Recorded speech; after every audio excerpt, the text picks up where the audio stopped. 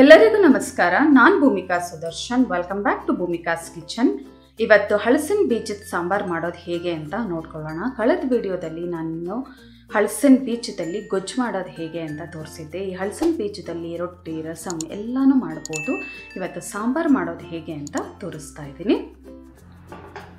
ಮೊದಲು ನಾನು ಹಳಸಂದೆ ಕಾಳನ್ನ ಸ್ಟ್ಯಾಂಡರ್ಡ್ ಮೆಷರಿಂಗ್ ಕಪ್ಪಲ್ಲಿ ಅರ್ಧ ಕಪ್ಪಷ್ಟು ಹಳಸಂದೆ ಕಾಳು ತೊಗೊಂಡು ಅದನ್ನು ಒಂದು ಎರಡರಿಂದ ಮೂರು ಗಂಟೆ ನೀರಲ್ಲಿ ನೆನೆಸಿಟ್ಟಿದ್ದೀನಿ. ನಂತರ ಅದನ್ನು ಚೆನ್ನಾಗಿ ತೊಳೆದು ಎರಡು ಕಪ್ಪಷ್ಟು ನೀರು ಹಾಕಿ ಕುಕ್ಕರಲ್ಲಿ ಹಾಕಿ ಇಟ್ಕೊಂಡಿದ್ದೀನಿ ನೆಕ್ಸ್ಟು ಒಂದು ಇಪ್ಪತ್ತೈದು ಹಳಸಿನ ಬೀಜಗಳನ್ನ ಎಲ್ಲ ಸಿಪ್ಪೆ ಎಲ್ಲ ತೆಗೆದು ಇದರೊಳಗಡೆ ಹಾಕ್ಕೊಂಡು ಬೇಯಿಸ್ಕೊಳಕ್ಕೆ ಇಟ್ಕೊಳ್ತಾ ಇದ್ದೀನಿ.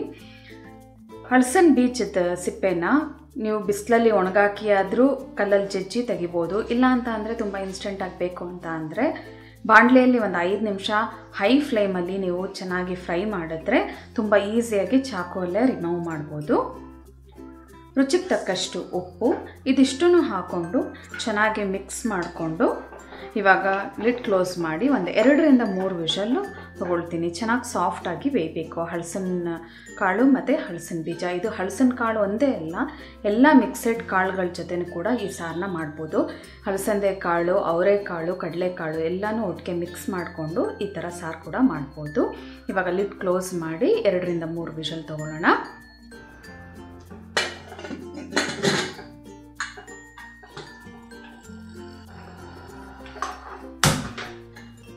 ಪ್ರೆಷರ್ ಬಿಟ್ಟಿದೆ.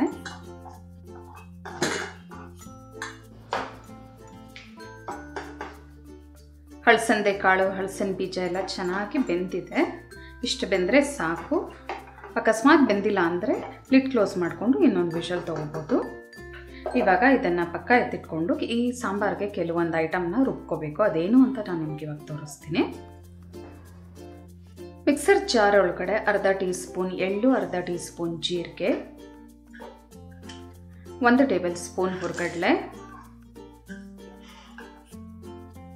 ಒಂದು ಈರುಳ್ಳಿಲಿ ಅರ್ಧ ಈರುಳ್ಳಿ ರುಬ್ಬೋದಕ್ಕೆ ಹಾಕ್ತಾ ಇದ್ದೀನಿ. ಇನ್ನರ್ಧ ಒಗ್ಗರಣೆಗೆ ಹಾಕ್ಕೊಳ್ತೀನಿ.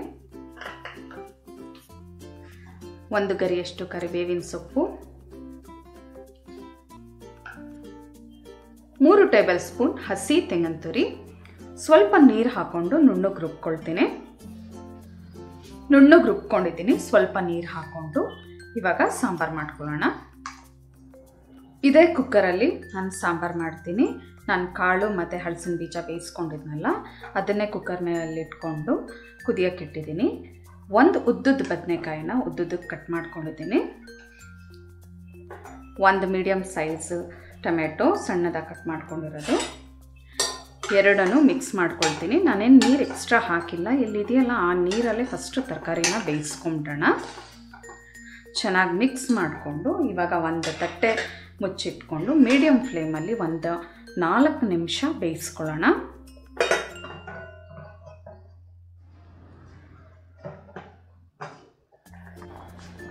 ಮುಕ್ಕಾಲು ಭಾಗದಷ್ಟು ಟೊಮೆಟೊ ಮತ್ತು ಬದನೆಕಾಯಿನ ಬೇಯಿಸ್ಕೊಂಡಿದ್ದೀನಿ. ಮಧ್ಯ ಒಂದು ಸಲ ಮಿಕ್ಸ್ ಮಾಡ್ಕೊಂಡಿದ್ದೆ. ಒಂದು ಟೇಬಲ್ ಸ್ಪೂನ್ ಆಗೋಷ್ಟು ಸಾಂಬಾರ್ ಪೌಡರ್. ಸಾಂಬಾರ್ ಪೌಡರ್ ಇಲ್ಲ ಅಂದರೆ ಅಚ್ಕರದ ಪುಡಿ, ಧನಿಯಾ ಪುಡಿ, ಜೀರಿಗೆ ಪುಡಿ ಹಾಕೊಳ್ಳಿ. ಚೆನ್ನಾಗಿ ಮಿಕ್ಸ್ ಮಾಡ್ಕೊಳ್ಳೋಣ. ಒಂದು ಟೀ ಸ್ಪೂನಷ್ಟು ಗಟ್ಟಿ ಹುಣಸೆಹಣ್ಣಿನ ರಸ. ಕಳೆದ ವಿಡಿಯೋಗಳಲ್ಲಿ ನಾನು ಹುಣಸೆಹಣ್ಣಿನ ರಸ ಮಾಡೋದು ಹೇಗೆ ಪೇಸ್ಟ್ ಮಾಡೋದು ಹೇಗೆ ಅಂತ ತೋರಿಸಿದ್ದೆ. ಅದನ್ನು ಕೂಡ ಚೆನ್ನಾಗಿ ಮಿಕ್ಸ್ ಮಾಡ್ಕೊಳ್ತಾ ಇದ್ದೀನಿ. ಇವಾಗ ಇದು ಒಂದೆರಡು ನಿಮಿಷ ಕುದಿಲಿ ಹೀಗೇ ಎರಡು ನಿಮಿಷ ಚೆನ್ನಾಗಿ ಕುದಿಸ್ಕೊಂಡಿದ್ದೀನಿ. ಇವಾಗ ರುಬ್ಬಿರೋ ಅಂಥ ಮಿಶ್ರಣನ ನಾವು ಇದರೊಳಗಡೆ ಹಾಕೊಳ್ಳೋಣ.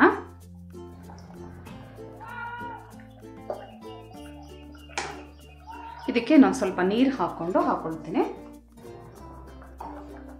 ಇದಕ್ಕೆ ಇನ್ನೊಂದು ಸ್ವಲ್ಪ ನೀರು ಹಾಕ್ಕೊಂಡು ನಾವು ಇವಾಗ ಸಾಂಬಾರ್ ಕನ್ಸಿಸ್ಟೆನ್ಸಿ ಯಾವ ಹದದಲ್ಲಿರಬೇಕು ನೋಡಿಕೊಂಡು ತೆಳು ಮಾಡ್ಕೋಬೋದು. ನೋಡಿ, ಎಲ್ಲ ಚೆನ್ನಾಗಿ ಮಿಕ್ಸ್ ಮಾಡ್ಕೊಳ್ತೀನಿ. ಇನ್ನೊಂದು ಸ್ವಲ್ಪ ನೀರು ಹಾಕಬೇಕಾಗತ್ತೆ.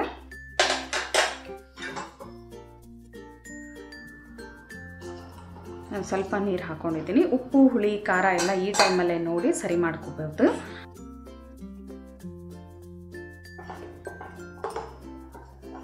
ಹುಣಸೆ ಹಣ್ಣಿನ ರಸ ಒಂದು ರೆಡಿ ಮಾಡಿಟ್ಕೊಂಡ್ರೆ ನಾವು ಎಷ್ಟು ಈಸಿಯಾಗಿ ಇದನ್ನು ಮಾಡ್ಕೊ ಹಾಕೊಂಡ್ಬಿಡ್ಬೋದು ನೋಡಿ. ಕಮ್ಮಿ ಕ್ವಾಂಟಿಟಿಯಲ್ಲಿ ಮಾಡಬೇಕಾದ್ರೆ ಈ ಹುಣಸೆಹಣ್ಣಿನ ರಸ ತುಂಬಾ ಯೂಸ್ ಆಗುತ್ತೆ. ಇದನ್ನು ಇನ್ನೊಂದು ನಾಲ್ಕರಿಂದ ಐದು ನಿಮಿಷ ಲೋ ಫ್ಲೇಮಲ್ಲಿ ಬೇಯಿಸ್ಕೊಳ್ಳೋಣ. ರುಬ್ಬಿರೋ ಅಂಥ ಮಿಶ್ರಣ ಹಾಕೊಂಡ್ಮೇಲೆ ಚೆನ್ನಾಗಿ ಕುದಿಸ್ಕೊಂಡಿದ್ದೀನಿ. ಅದರ ಹಸಿ ವಾಸನೆ ಎಲ್ಲ ಹೋಗಬೇಕು ಅಲ್ಲಿವರೆಗೂ ಕುದಿಸ್ಕೋಬೇಕು. ನಾಲ್ಕು ನಿಮಿಷ ಚೆನ್ನಾಗಿ ಕುದಿಸ್ಕೊಂಡಿದ್ದೀನಿ. ಇವಾಗ ಇದಕ್ಕೆ ಒಗ್ಗರಣೆ ಹಾಕ್ಕೊಳ್ಳೋಣ ಇನ್ನೊಂದು ಸ್ಟೌವಲ್ಲಿ ಸ್ಟವ್ ಆನ್ ಮಾಡಿಕೊಂಡು ಒಂದು ಚಿಕ್ಕ ಬಾಣಲೆಯಲ್ಲಿ ಒಂದು ಟೇಬಲ್ ಸ್ಪೂನ್ ಎಣ್ಣೆ ಹಾಕೊಂಡಿದ್ದೀನಿ. ಅರ್ಧ ಟೀ ಸ್ಪೂನ್ ಸಾಸಿವೆ. ಒಂದು ಚಿಟ್ಕಿ ಇಂಗು. ಸಾಸಿವೆ ಚೆನ್ನಾಗಿ ಸಿಡಿಲಿ. ಸಾಸಿವೆ ಸಿಡಿದಿದ್ದ ಹಾಗೆ ಏಳರಿಂದ ಎಂಟಷ್ಟು ಬೆಳ್ಳುಳ್ಳಿ.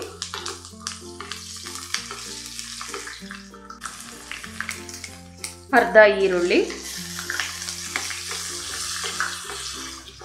ಈರುಳ್ಳಿ ಬೆಳ್ಳುಳ್ಳಿನ ಚೆನ್ನಾಗಿ ಫ್ರೈ ಮಾಡ್ಕೊಳ್ಳೋಣ.